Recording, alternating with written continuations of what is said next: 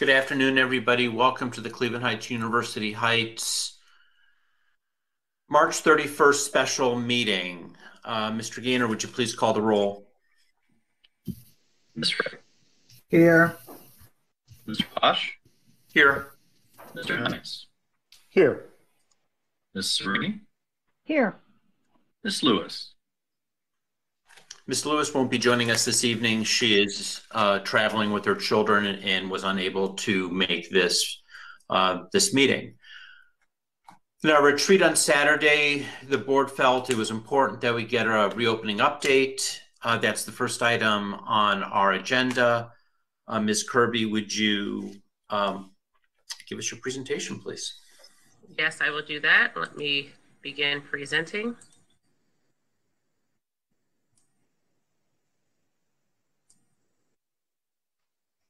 Can everyone see that? Can someone say yes? I don't have Yeah, You- we can see it, Liz. Yes, we're good. Yeah, thank you. Great. Okay. All right. So um, I just have um, a brief presentation to share with everyone where we are as we prepare to offer a five day a week model um, in April when we return from spring break. Um, so just as a general uh, information, we did conclude our, our third quarter on March 26th.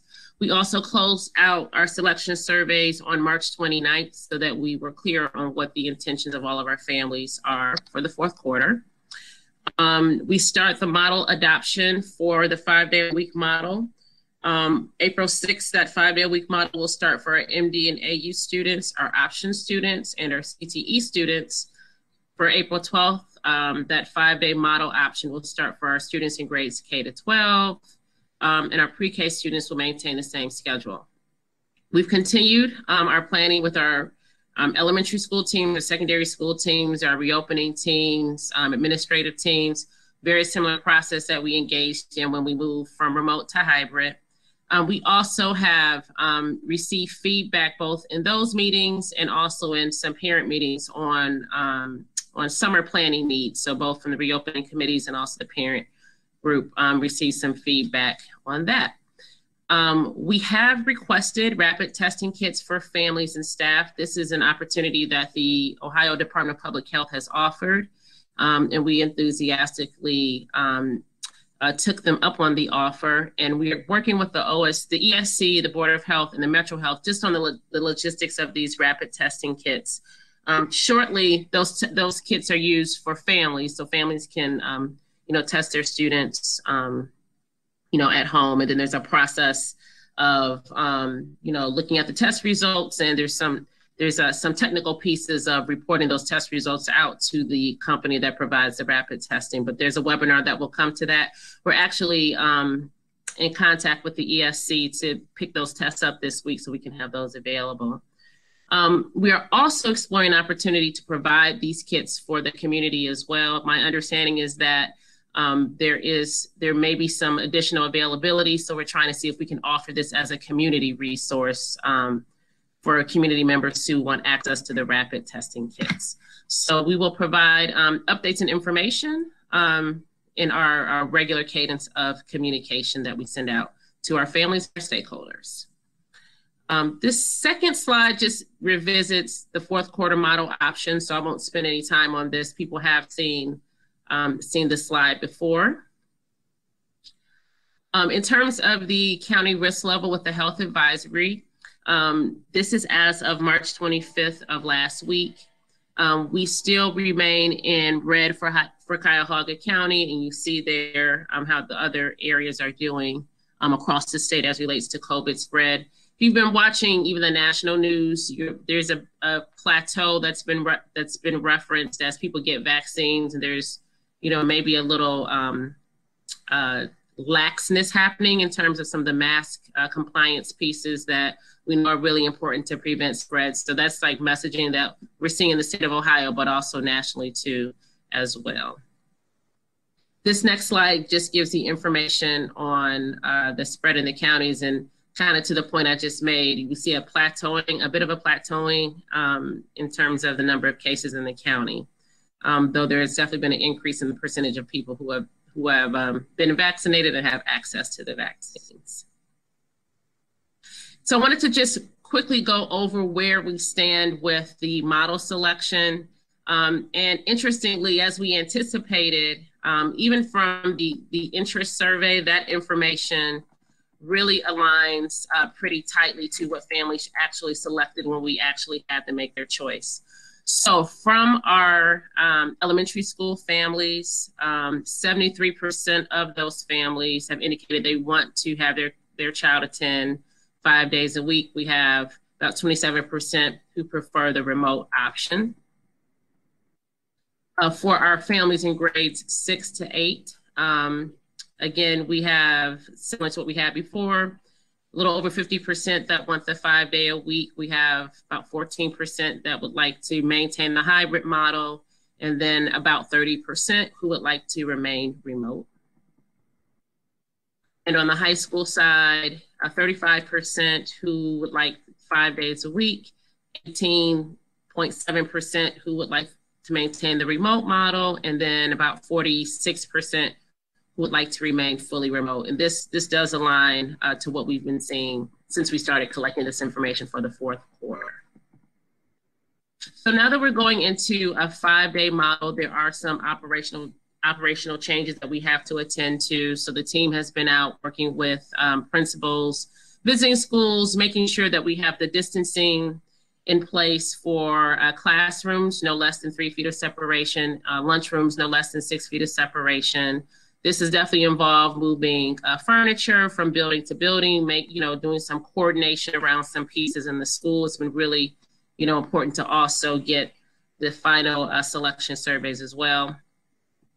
Um, we also um, have heard that there have been um, some clarification needed on the use of cleaning supplies in our classrooms. So um, it's been helpful to hear that feedback, and we'll make sure as we continue to communicate what can be used by who, that um, it's clearly communicated and it also complies with um, guidance from the Board of Health and other health professionals as well. You know, the thing that we continue to emphasize is the masking is really, really important, um, you know, in the classrooms. And there's definitely a, a desire that I understand that people think that everything needs to be wiped down constantly at all times. Um, but actually, the most important piece, and you'll hear this again and again, is uh, that the masking and the social distancing pieces. So, so we'll also clarify that. In terms of food, uh, and, and I do want to share, um, you know, some of the feedback that we received has was helpful also, and I shared similar feedback with my colleagues in the first ring, you know, just to make sure that that was something that was on their radars too, as well. So in terms of food service, um, at the elementary schools, we will have um, breakfast um, offered to kids on Mondays to take home for the entire week. So we're trying to really cut down on the opportunities um, where kids will have to kind of take their mask off, you know, and you know the safety pieces. So the breakfasts will we will distribute as we have been distributing during hybrid, where the students take their take um, them home and then they can have breakfast at home before they come to school. Um, but we'll always still have supplemental breakfast offered for students who may not have an opportunity to eat um, before they come to school. Hot lunches served daily, and then we'll also offer the weekend meals. Um, we'll have a remote uh, remote pickups Monday, Wednesday, and Friday for students, um, and we do those, you know, again, kind of as grouped meals. So we will give bags of meals that go over several days for families. Um, and in terms of uh, the hybrid learners, uh, they will have uh, breakfast and lunch that they can take home on their remote days as well. So again, kind of same similar systems working out. We've been able to to um, get that going. So right now, in terms of our next steps, uh, now that we have all of the final uh, selections from families, we're going through the process with our HR um, an operations team to make sure that we have the desks out, the desks and the tables that we need. Um, in terms of the classrooms, we'll do the very same process that we did with hybrid. So we will look at the students who are returning, um, you know, try to minimize any disruption to a, an assigned teacher, um, you know, for a student. And we did a good job with that last time. I anticipate we'll be able to do that well this time as well. Um, and, you know, I, one thing that we did when we went to the hybrid model, we were reaching out to families and, you know, really explaining the model. I'm hoping that, you know, we'll have uh, families who will um, feel comfortable, you know, coming back in, you know, as the year progresses. Because we did see that happen also with um, when we we're in hybrid. And if that does happen, we have enough space to make, you know, needed adjustments in the classrooms. Um, but that's something that you know we'll continue to to message. And then uh, last, we will have information on our summer enrichment plan. I will be presenting that at the April 6th board meeting that will be happening um, on Tuesday so that um, all families and stakeholders know what we have planned uh, for the summer for students. So that concludes uh, the update on where we are as we get ready to return again next week. The in our MDAU students, our students in our options program, and our students in CTE classes will start their five day um, of instructional model um, for next week.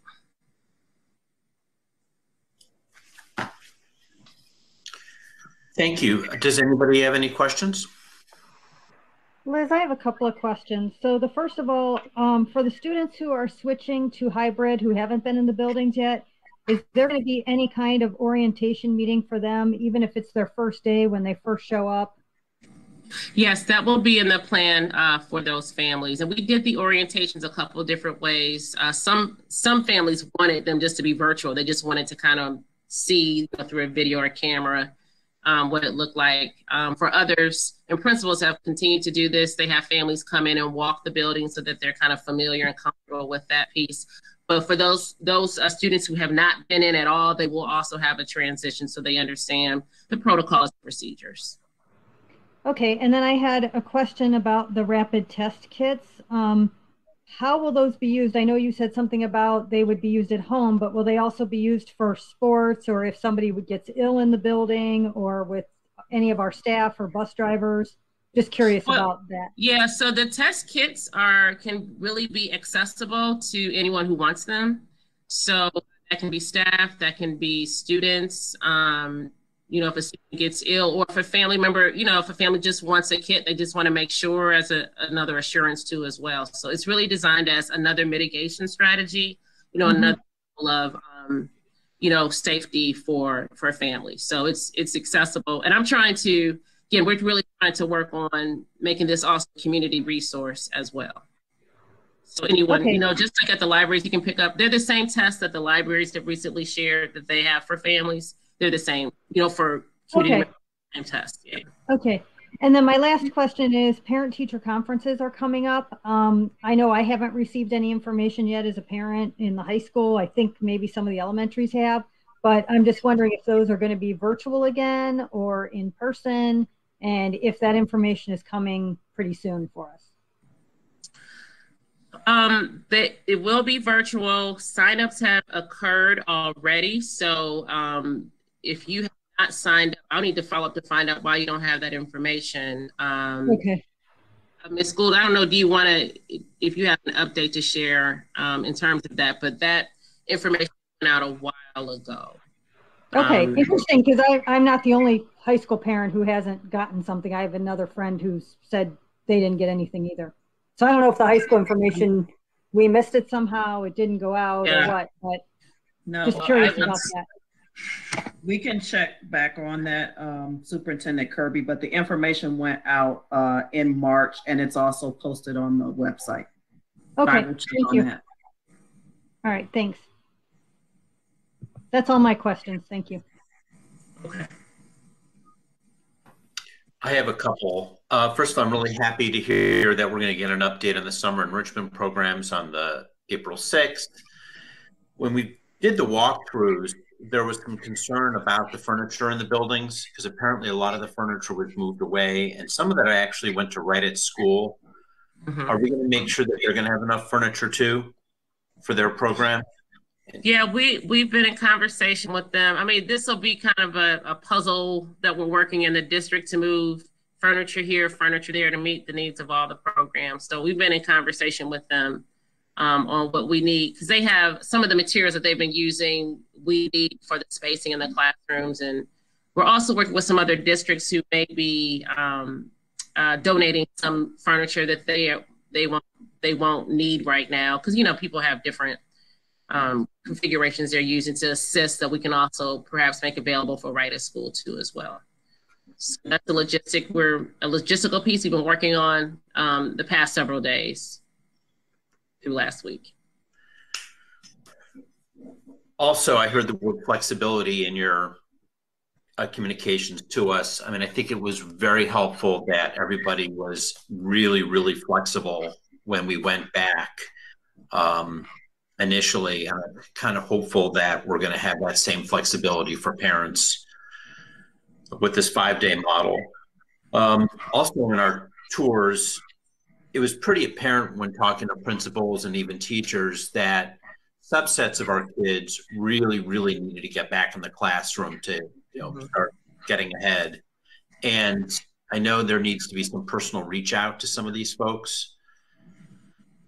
Is that occurring, or will that occur? Yeah, that's already started. The, this, the schools have, um, you know, maintained specific um, processes to identify students that we know the in-person supports are going to really support them academically. So they've made those, they are having and have had those conversations with those students.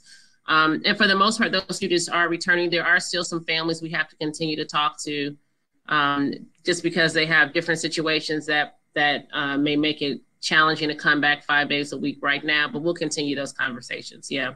Those lists actually started, you know, the schools have been tracking students from the start of the year, so we've been pretty clear on who those kids are. Um, and uh, and so now, and we have seen a positive impact of students being back hybrid. So um, between that and um, now having even more time to offer, um, that should be really helpful for addressing the needs of those students. Yes, that has been a part of the of the plan, and the you know teachers, social workers, counselors, principals um, have been uh, work reaching out. That's good to hear.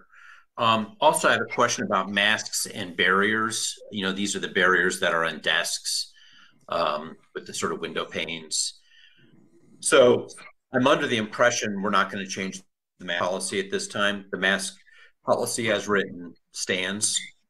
Correct. I, I know we're all getting a little excited and feel we may not need to be wearing masks, but I think really when it comes to being in the classroom, we are still sticking with our existing yeah. policy. Correct. So the barriers, you know, I've heard feedback from actually a number of teachers. And funny thing is, really not our teachers, but like teachers in Shaker um, who have kids in our school district there is a concern that the barriers are um, difficult to teach in. And they were advocating for us to have a policy that would let um, the staff in a particular room pick and choose if they wanted a barrier um, around children. So I'm not asking for actually a response for that, but just a consideration at this point. I mean, is that valid? Is it not valid? um, something we should be considering. I know in the walkthroughs, it was pretty apparent that those barriers were pretty small or pretty large. So the smaller the child, it's kind of hard for the kids to actually see through the barriers or look around the barriers, which would mm-hmm. force kids to get up and maybe sit on a radiator or something just to be able to see the front of the classroom. With more kids in the room, it just seems like it's going to be a little bit more challenging. So maybe when you give it your next update, can you give that some thought and just sort of, you know, maybe reply about that? Well, yeah, and I can also tell we have also heard the feedback about the barriers. So I know that George and his team are looking at some different seating. One of the challenges is that the primary kids are shorter, so like the seat and the bear, like it's just a little off. So trying to come up with a solution so that kids do have uh, greater visibility um, with those barriers. Now, I hesitate at this point to, to take barriers down, those types of things, because we have communicated to parents that this is, you know, one of our protective measures. And so sure. uh, what, what we'll do is, you know, find some workarounds maybe with the seating to help it, to, you know, help it become more accessible for kids. Okay. I mean, I, I know there's still stuff that has to get figured out. Yeah. So, um, any other questions, thoughts, anybody? Yeah, I, I also just wanted to sort of chime in about the rapid test kits. I'm I'm really thrilled about this um, that we uh, joined in this this effort and accepted these uh, rapid test kits. I think that this is an opportunity for us to, um, you know, just continue to double down on our role within the community as a, you know, a positive agent for moving the entire community forward. Um, and that is really just wonderful. So thank you for pursuing that, Liz, and making those available and, and putting us in a position to help the community at large.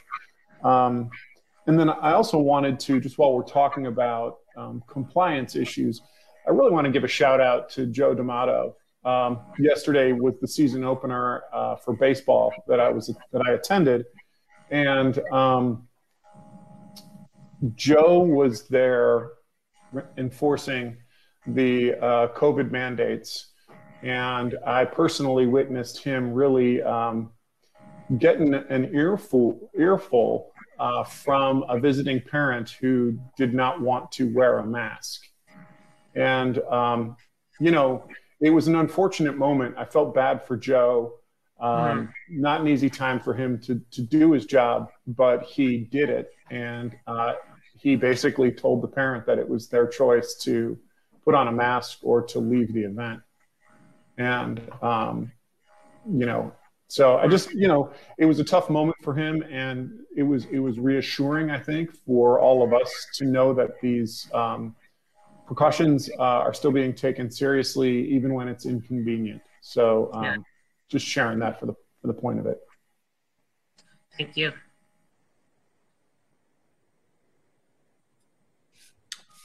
Uh, well, thanks, Liz. If there's no other questions, can we move on to our next um, item, which is the policy item? Yes, I'll turn it over to Dr. Lombardo. All right, good afternoon, everyone. Um, no action is needed on this item, but we do have to recognize that we have the second reading of our Title IX policy 2266 non-discrimination on the basis of sex and education programs or activities. So again, this would be the second reading. Our uh, third and final reading will come April 6th on next week. Can I ask a question about this? Sure, go ahead, Dan. Thank you, um, Dr. Lombardo. I reread it. I skimmed it the first time, and, and I put a little bit more time to it this week. Um, a lot of uh, well, repeatedly throughout the, the policy, third party vendors are mentioned. Um, and it made me curious, um, you know, because we have a lot of third party um, providers. Uh, you know, we have people who come in and do this sort of programming after school and that sort of thing. Um, how exactly are they informed of uh, all of the policies uh, that we operate under? Are they just directed to our policy handbook online, or how are they informed? Basically, how do they know what our policies are around these things? Yeah, um, uh, it would be on our website and directed to where our policies are. Um, as a district, we have to make an extra effort, you know, based on this policy, to make sure that people are aware as they use our buildings, as they come into the buildings. Um, so that's going to be a, uh, another effort of this policy is to make sure that people understand um, this policy as well as our others. Can we add language to this policy that just makes what uh, Dan has shared just a part of our process? Yes, we can. Or part of it. So we'll add add language around that. That way we can uh, make sure it's codified.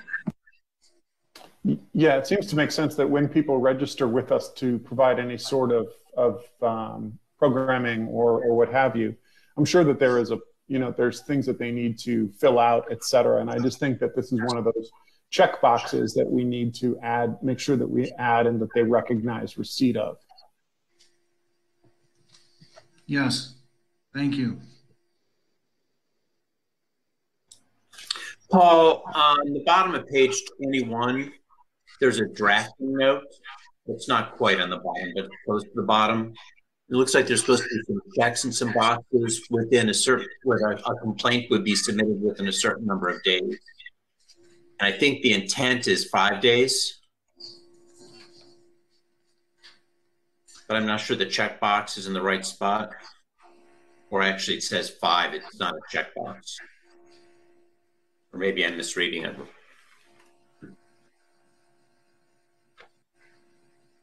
Or the drafting note just goes away because it's written. Drafting note would, I'll double check, but a lot of the time uh, restraints are, are optional. Um, as we work through legal with this, um, um, sometimes depending on the investigation, those timelines do change. But I'll make a note on here when I bring it back for the third reading on, uh, on this particular one. I see what you're talking about.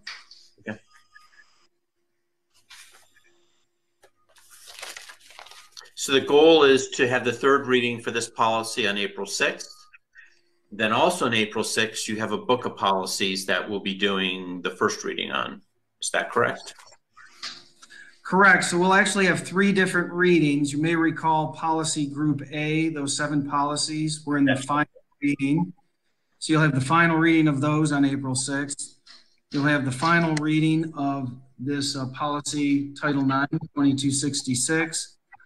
And then there'll be the first reading of, um, of those 14 policies. Many of the policies were altered based on this Title IX policy. So yes, that'll be the first reading for those 14.